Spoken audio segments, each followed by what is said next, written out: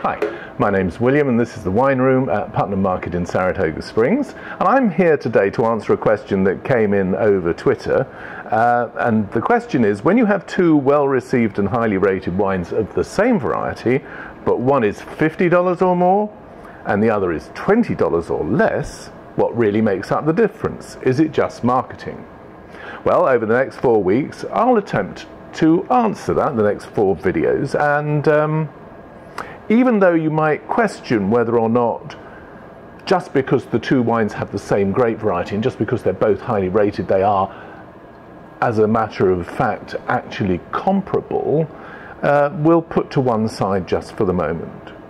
But I happen to have here two wines, both of them rated 90 by the Wine Spectator, but this one is $65 and this one is $16. One is a class growth from Bordeaux, the other a Cabernet Sauvignon from Mendoza. Let's find out what makes the difference.